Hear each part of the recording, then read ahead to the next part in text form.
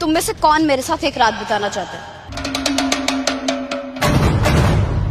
जो भी ये काम करेगा ना मैं उसे पूरे एक लाख रुपए दूँगी। एक लाख रुपए मैं चलूँगा मैं चलूँगा।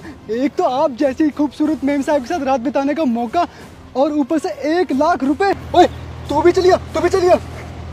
एक सेकंड। तुम दोनों का तो ठीक है। ये कुछ क्यों नहीं बोल रहा? तुम इंटरेस्टेड नहीं हो क्या? अरे नहीं नहीं मैम साहब।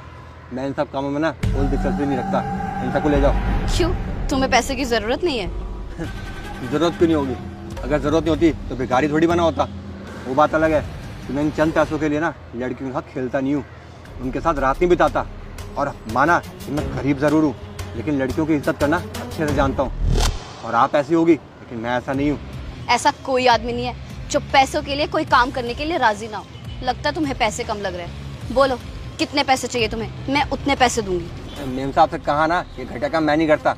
और ये सब तो राज़ी है। ले जाओ इन्हें। और ये एक लाख रुपए ना इन्हीं को दे देना। तुम ना बहुत डेयरिंग हो जो मुझ जैसी हॉट लड़की को मना कर रहे हो। अब तो ना मुझे तुम में इंटरेस्ट है। मैं तुम्हें ही लेकर जाऊँगी।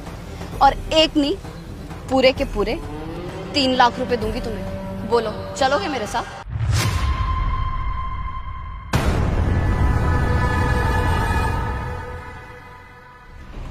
तीन लाख रुपए। हाँ हाँ मैं चलने को तैयार हूँ। देखा पैसों के आगे कौन नहीं झुकता। लेकिन मेम साहब ये तीन लाख रुपए ना आप इन दोनों को दे दो। मैं तो आपको फ्री में मज़े दे दूँगा। मुझे क्या? ये पकड़ो तीन लाख रुपए। चलो मेरे साथ।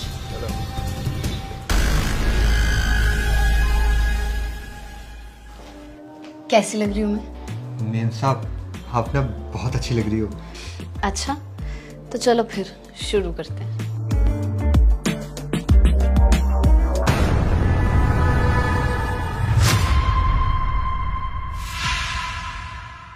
ये सब ये सब क्या हो रहा है यहाँ पे? क्या चल रहा है यहाँ पे?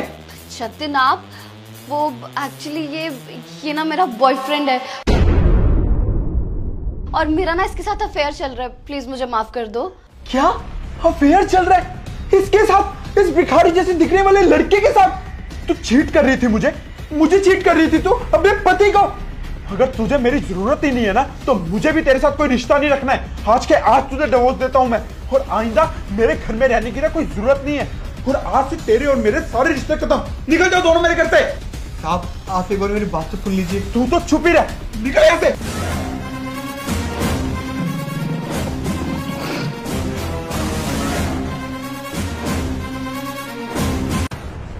मेम साहब ये तो बताओ आगे क्या करना है? तू अभी तक मेरे पीछे पीछे आ रहा है क्या? जा यहाँ से मेरा काम होना था हो गया। क्या? आपका काम? मैं कुछ समझा नहीं। क्या मतलब? मतलब ये कि मुझे मेरे पति से ना डिवोर्स चाहिए था। मैंने जानबूझ के ये सारा नाटक किया। वो बहुत एटीट्यूड वाला है। मुझे नहीं रहना था उसके साथ। इसलिए मैंने ये नाटक किया। अगर मैं किसी और लड़के को बुलाती ना तो वो मेरा फ़ायदा उठाता। और तुझे तो मुझमें इंटरेस्ट ही नहीं था ना। मैं जानती थी। तो जल्दी से मेरे क्लोज नहीं आएगा। इतनी देर में मेरा पति आ जाएगा और जब वो हम दोनों को देखेगा ना तो जल बुझ के राख हो जाएगा और मुझे डिवोर्स दे देगा।